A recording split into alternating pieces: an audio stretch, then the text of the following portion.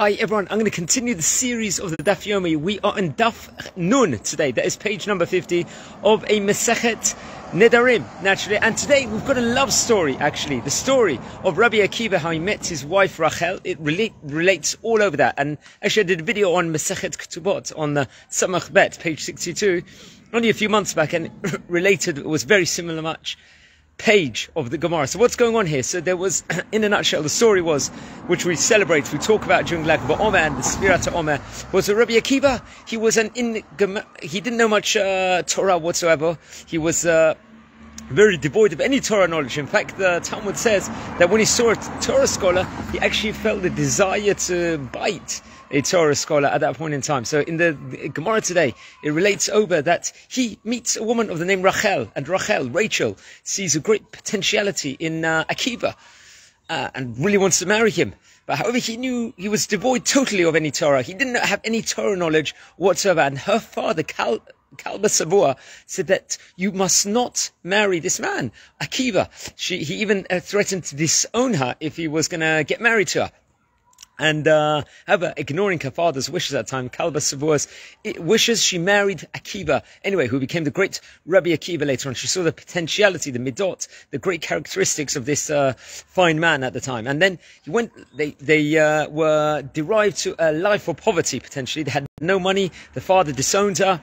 Kalba Savua, and uh, they came out. They were they were living in the most uh, minimal circumstance, and he went to learn Torah at the end. He, in fact, he spent 12 years learning Torah, and uh, after the 12 years, he came back with uh, many many with thousands and thousands of students, and then uh, he actually went back under his wife's blessings, without her knowing. He came back.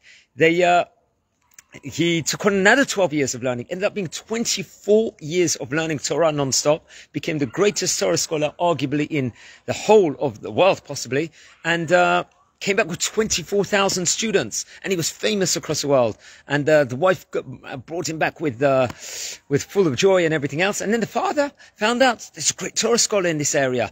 His name is Rabbi Akiva. So uh, at that stage, he had to regret that his daughter, he disowned the daughter. I didn't know that, I believe, that Akiva had become his son-in-law. He became the greatest rabbi and actually went to Rabbi Akiva, who he didn't know was the son-in-law, and uh, said uh, he wanted to nullify the vow, which uh, we're talking about all in the Talmud today, about vows. He wanted, it nullified that, the disowning vow, and wants her to inherit from him again at that stage in time. So Rabbi Akiva asked, if you would have known he would become such a great Torah scholar, or even know a little bit of Torah, would have you done that vow in the first place? And he said, no. So he regretted it. It was like a petach, and he found out that it was, uh, there was a form of regret within regards to this, and the vow was nullified. And lo and behold, he found out that Rabbi Akiva was actually his son-in-law, married Rachel later on. So, you know, it's an amazing love story in uh, today's Talmud in the Masechet Nedarim, which is related to all over, and we learn all about it in the Sfirat Omer, of how Akiva met Rachel, and uh, was arguably uh,